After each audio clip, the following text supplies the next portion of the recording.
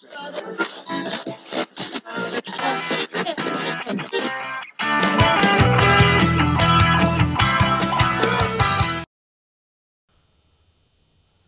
text of my message this morning is from Mark chapter 8, verses 27 to 30. Jesus and his disciples went on to the villages around Caesarea Philippi, and on the way he asked them, Who do people say I am? And they replied, Some say John the Baptist, others say Elijah, and still others one of the prophets. But what about you? He asked. Who do you say I am? And Peter answered, You are the Christ. And Jesus warned them not to tell anyone about him. Let's pray.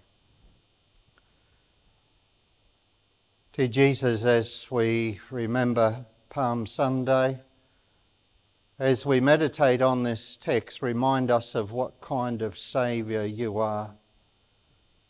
That we and King you are, not only to remember that you are the Christ, but that you are the crucified Christ for us. So, Lord, teach us and grow us through this your word. Your word is truth and life and light for our salvation. Amen.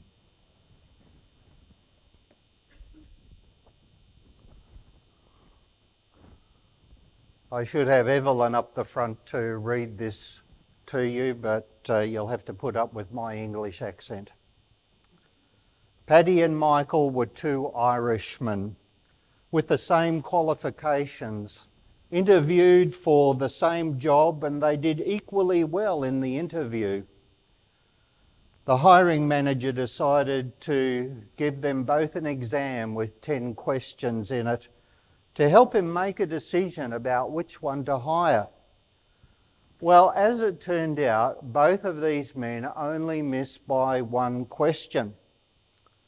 And the manager went to Paddy and said, Thank you for your interest in this position.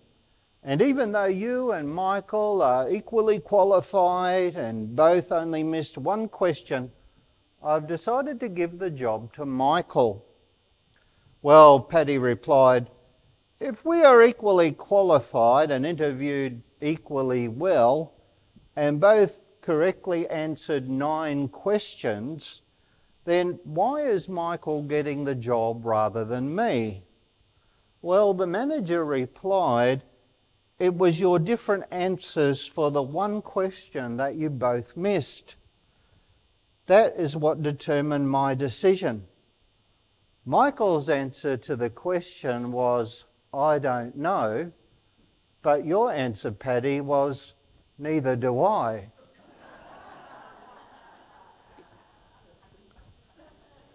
Poor Paddy, so close and yet so far. His sins found him out. He was someone who didn't really know. And as we approach this last Lenten sermon in our series on the Messianic secret in Mark's Gospel, we discover that Peter does a similar thing. Unlike Paddy, he gave the right answer. But when Jesus began to explain what that answer meant, Peter showed that he didn't really know. He didn't really know what it meant to confess Jesus as the Christ. Today, the secret is revealed, but because Peter did not understand what it was for Jesus to be the Christ, Jesus had to warn them not to say anything, as he'd done to many others before in Mark's Gospel.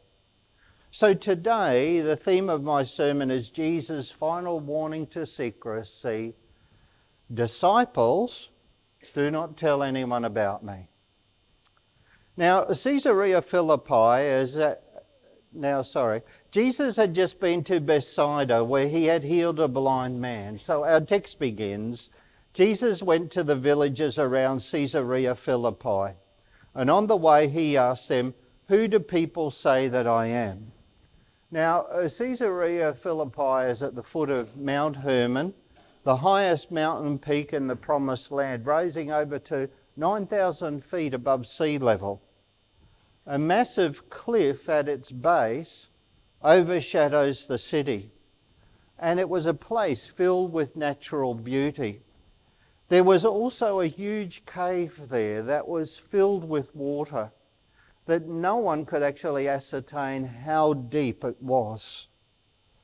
It was probably the reason why it was such a beautiful place that there was a shrine to the pagan god Pan there. Jesus asked this question of his disciples in our text as they were on the way. Now, being on the way is a theme in Mark's Gospel. In Greek, it's hodos is the word for way, and it can refer to a road or path, or it can refer to a way of life. We find Jesus on the way when he asks this question of his disciples. This phrase again appears in Mark chapter 9 when the disciples indicate that they don't know the way.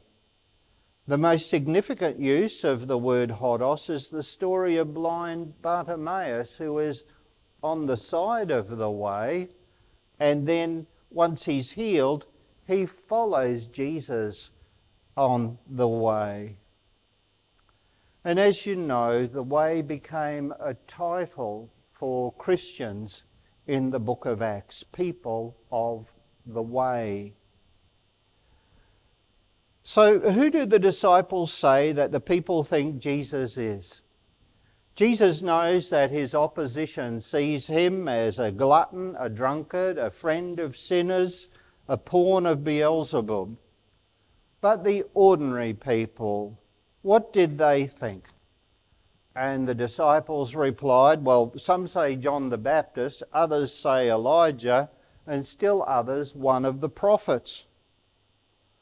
John the Baptist, well, we can see why they would think that Jesus' preaching was so similar to John's, so he might have been John the Baptist. They both preached repentance and righteousness. Even King Herod thought that Jesus might have been John the Baptist raised from the dead. Elijah. Well, the Jews believed that Elijah would come to prepare the way for the Messiah. And so Jesus did miracles just as Elijah did, so maybe he was Elijah. Or was he one of the prophets? The prophets were great men of God who spoke out fearlessly against evil and injustice. That's what Jesus did, so maybe he was one of the prophets. Then the rubber hits the road. Jesus goes from public opinion to personal confession. After the disciples had followed him for nearly three years, but what about you? Who do you say that I am? And Peter answered on their behalf, You are the Christ. We need to be he- clear here that calling Jesus the Messiah doesn't mean calling him divine or even the second person of the Trinity. Mark believes Jesus was and is divine, and he will eventually show us where and why. But this moment in the gospel story is about something else. It's about the politically dangerous and theologically risky claim that Jesus is the true King of Israel, the final heir to the throne of David, the one before whom Herod Antipas and all the other would be Jewish princelings are just shabby little impostors. The disciples weren't expecting a divine Redeemer. They were longing for a king and they thought that they'd actually found one. But Caesarea Philippi was a dangerous place for such a thing to be said about Jesus. After all, there was a recently built temple there to the newest pagan god, the Roman emperor, the Caesar himself a Messiah announcing the kingdom of God was a challenge to Rome, If word got out, it would be met with swift, violent, and merciless opposition. So, what does Jesus do? He warns his disciples not to tell anyone about him. Yes, it is true. He is the Messiah, he is the King. But he's not the kind of king that they and all Israel were expecting. Peter and the disciples had the right answer. Jesus is the Christ, the anointed one, the Messiah, but they have the wrong understanding about his kingship. And what we go on to read, this is made clear in Mark chapter 8, verses 31 to 35.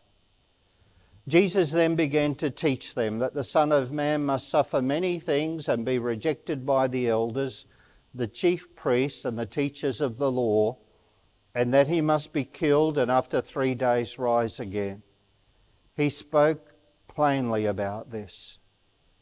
This is the kind of Messiah, the kind of king he was, a Messiah who would suffer and die and on the third day rise again. So, how did Jesus giving the true meaning to what kind of Messiah he is, be received by his disciples. We read, Peter took him aside and began to rebuke him. But when Jesus turned and looked at his disciples, he rebuked Peter. Get behind me, Satan, he said. You do not have in mind the concerns of God, but merely human concerns. When Jesus turns and looks at all the disciples, Mark is showing us here that it's not only Peter with that kind of attitude, it's all of them. They had all misunderstood what kind of Messiah Jesus is. And their wrong understanding shows that they were in it for themselves and have satanic, fallen human concerns. For them, Jesus would be the king and they would be his cabinet. Jesus would get all the glory and they would get some of it. After three years, they just didn't get it. Then Jesus called the crowd to himself along with his disciples and said, Whoever wants to be my disciple must deny themselves and take up their cross and follow me. For whoever wants to save their life will lose it, but whoever loses their life for me and for the gospel will save it. You see, if you want to be a disciple of this Messiah, this King, the call to you, as said by the German martyr Dietrich Bonhoeffer, is the call to come and die anyone at the time of Jesus in Roman occupied Israel carrying a horizontal crossbeam was on their way to being killed crucified. You carried your own cross to the upright pole upon which you were to be crucified. And on Good Friday, we know that Jesus was beaten so badly that one of the soldiers enlisted Simon of Cyrene to carry his crossbeam.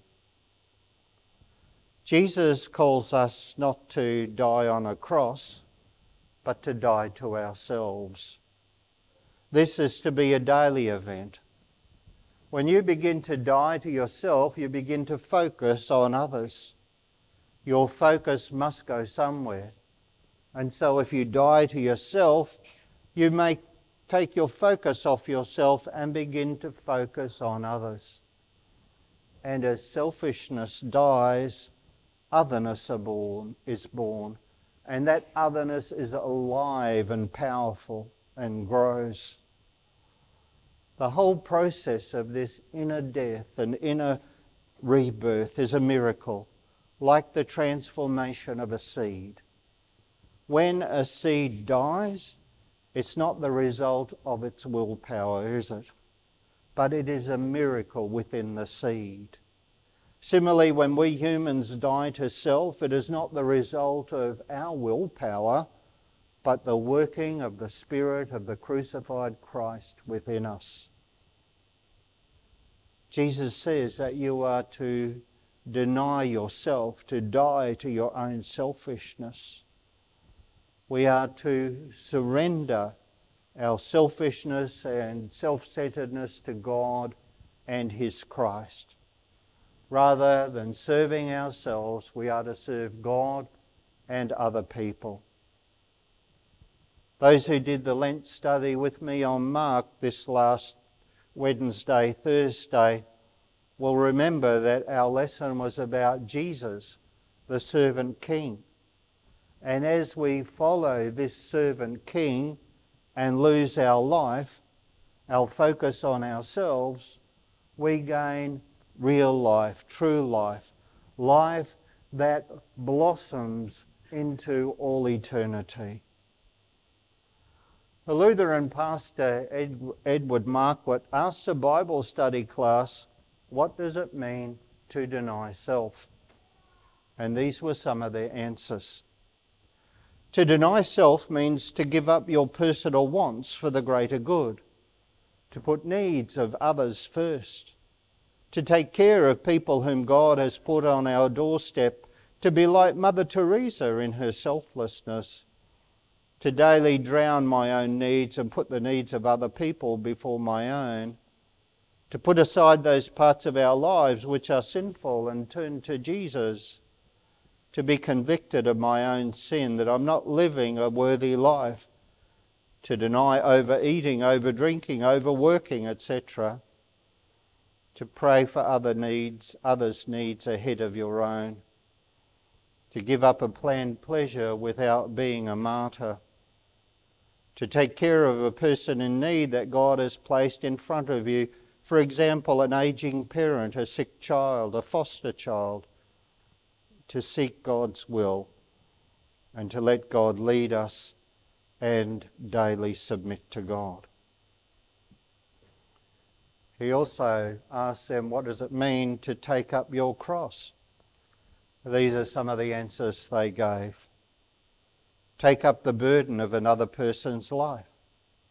To pick up the burden that is one in one's life, such, a, uh, such as a devastating disease or accident or disability. To carry my brother or sister on my back because that person is my brother or sister I do not think of them as heavy. To someone else, it may seem that my mother or father is a burden, but they are not. To take up your cross is to be open and flexible to God's plan, to focus on the needs that God places before me daily, to try to be loving every day, to have grace under pressure. And to go the extra mile and do our jobs of life well, and to work on my relationships with people I do not like, and to go against what our culture or media says is success. Well, if you didn't have any idea what it meant to deny yourself and take up your cross and live the life of following the crucified servant king, I hope you now have more of an idea and will make manifest in your life this kind of life of discipleship. So, in what we've looked at this morning, we have la- laid the foundation for the revelation of the Messianic secret. And we will see it revealed on Good Friday. And you're all going to turn up for Good Friday, aren't you? So you can find out the answer. No sleeping in. Until then, you need to answer for yourself the question Jesus asked What about you? Who do you say that I am? I'm sure that you could probably all answer like Peter, You are the Christ. You might even make it more personal, like, You are my King. But what kind of King is Jesus for you? Is he king you only call on when you're sick or in need? Is he king for you like those in the health and wealth gospel churches believe that he's just there to bless you with good things and if good things aren't coming your way, he's failing you?